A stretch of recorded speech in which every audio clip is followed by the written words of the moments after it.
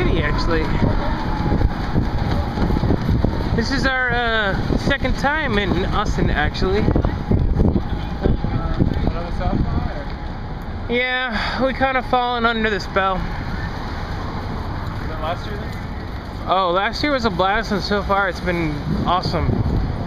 Like this year. Yeah. Oh yeah. Well, that's a good call. How long? How long have you been uh, doing a pedicab? Cool. Is there any like extra licensing that you have to do? Is there anything different you have to do for that? Yeah, I have a chauffeur's permit.